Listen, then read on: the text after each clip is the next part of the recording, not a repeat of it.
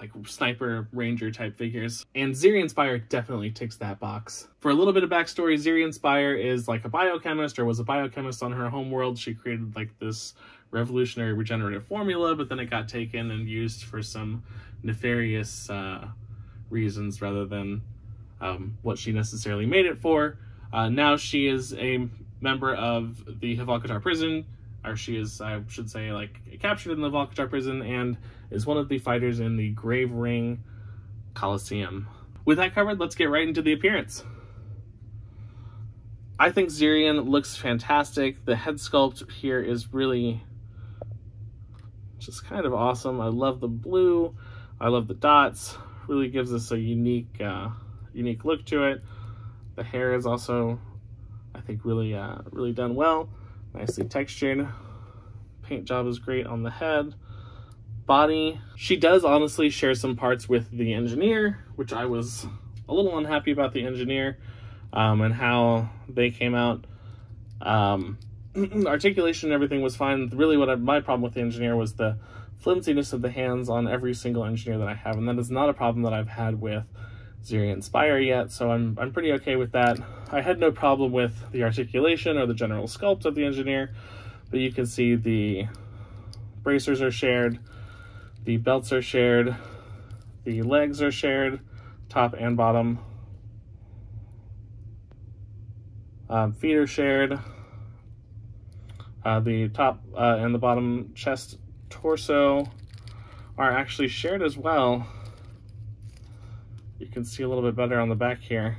It's just that she has a, a thing on top of there. So Zeerian Spyre is kind of a stripped down, but more detailed and better painted uh, version of the uh, Tusk Engineer. And honestly, what sets her apart from the Engineer for me is the paint job and the fact that her hands are not absolutely destroying themselves every time I swap them. And I've swapped them quite a few times. Uh, she has quite a few hands, so we'll, we'll be talking about that. Articulation-wise, I know we've already gone over the engineer, and I said just said they basically have the same body, but we'll go over her as well. Arms go up about 90 degrees. They bend at 90 degrees as well. Um, there is a swivel here in the gauntlet. You can also swivel here. Um, hands do the normal hand bending thing. Let's see, they're hinged, so they only move in one direction. Torso moves a little bit down well, okay, that's pretty, that's pretty decent actually. And uh, decently backwards. And then it, it also pivots there. Um, waist also does a pivot. And the waist does not move really up and down. Uh, you can, using, but just using that upper torso, and I guess the little bit that the waist does move, uh, you can get a pretty decent downward a pretty decent, decent backwards bend.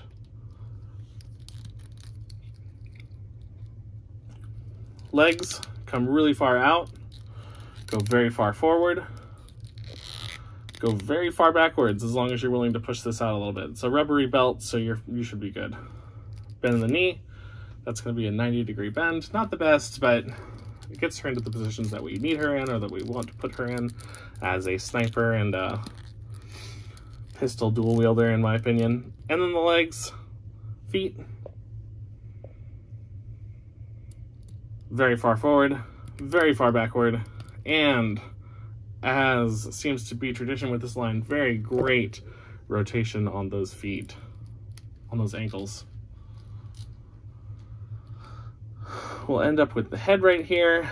Head can go decently backwards, not very far forwards at all. Like there's no bending or anything. Uh, you can tilt a tiny bit to the left and right. Of course, it swivels all the way around. And that's about it. No complaints there. Looks pretty good to me. For accessories, we have her weapons, which includes this sniper rifle. Uh, you'll notice that this is the same type of sniper rifle that the uh, Tusk Sentries had, but this one is actually painted. It's got like a, it's a, um, it's got like a dark paint on it and then like a dry brush of a goldish brass color. But then the actual stock here is painted to look almost like wood or bone. Really like that touch. And we also uh, have a strap here that will go around her body. Uh, and I like that touch a lot as well. She comes with the same two pistols that a lot of the other characters in this wave come with. But again, they have a dark paint on them with a light gold or brass rub or dry brush. It looks good. They have the holes for mounting as well as the long and short little plastic tubes that go on those weapons so that they can mount to her. And then as far as where she actually has those mounting holes, uh, she has two on her shoulder, uh, two on her uh, wrist pegs, and then two behind her. That's actually one of the long ones. That's why you don't want to use the long ones with the pistol. You want to use the short ones, otherwise they stick out like kind of crazy. But those are the only four pole, uh, four pegs that she has on her.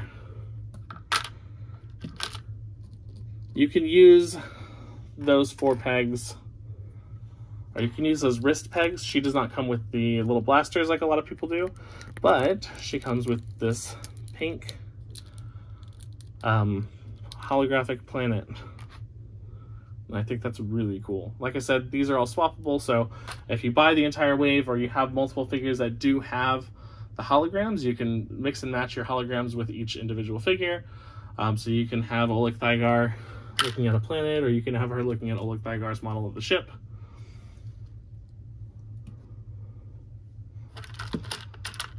She also comes with an additional head, and the additional head has her hair up in like a bun with one long tendril down the front.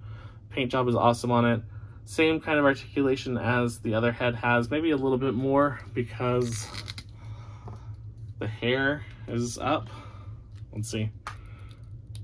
Uh, no, not much more, honestly. Nah. Uh, what this hair is mostly used for, though, is she's got this this tied back hair, like this, like let's get to business hair or whatever, uh, because she does have this little rebreather, gas mask, whatever you want to call it. It does not fit on the long-haired head just because the sculpt of the hair prevents it from actually like making contact around the rest of the, the head. So what we can do is we can take this other head and we just slip this on there you can see it's got it's got a little slot for her ears and stuff. It just goes right over her face. And then we just slip that head on there like that. And now she's got like a rebreather or like a an extra mask on.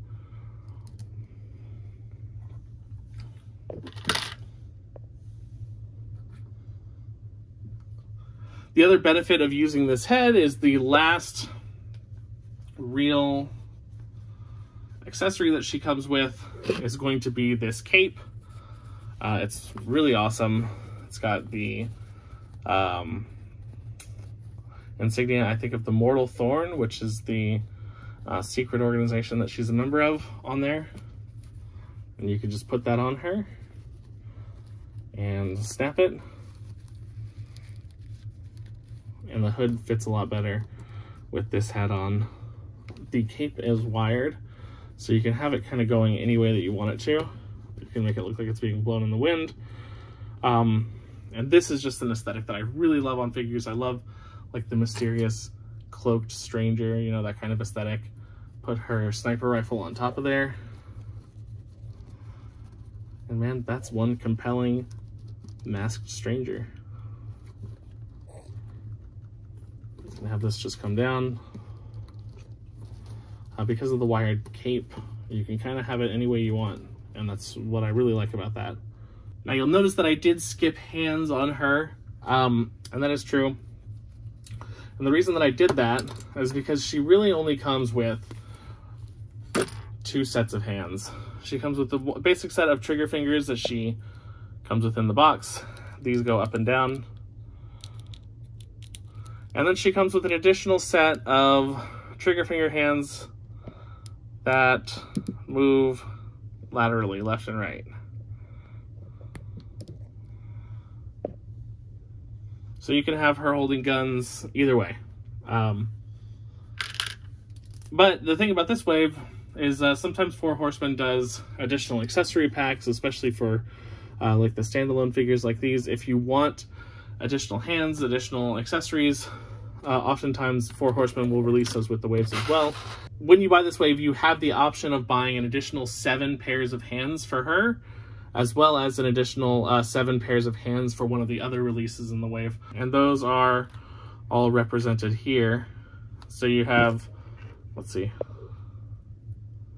So if you're going to buy both of these figures, why not throw in the extra seven pairs of hands? If you're only going to buy one, I don't know, I think seven pairs of hands still might be worth 20 bucks to you. We have a variety of open posing hands, uh, normal grabbing hands, uh, additional trigger finger hands for like different kinds of guns that are maybe bigger or differently shaped, a pair of closed fists, a pair of like grabbing hands that are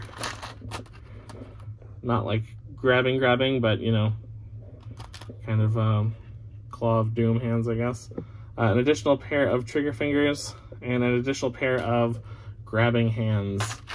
If you do buy the hands, then you can end up with her in a lot more uh, expressive or uh, interesting poses than just holding two guns or having an empty uh, gun holding hand. All right, now for some size comparisons, let's go ahead and throw her next to High Warden Slug. Quite a bit smaller than High Warden Slug. Uh, same thing is obviously going to be the case for Kragnar, who you can have her fighting in the Grave Ring. Let me pull back a little bit there.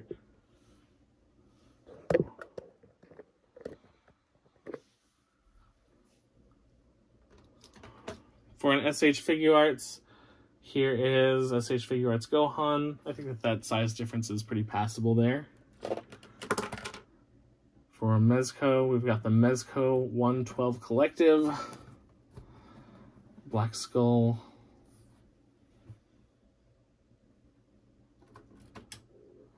One Thousand Toys Aerithro. Uh, again, well, uh, he's actually pretty small compared to her, but you know, I think you could fudge it in a picture. And then a Figma Tsuruya-chan.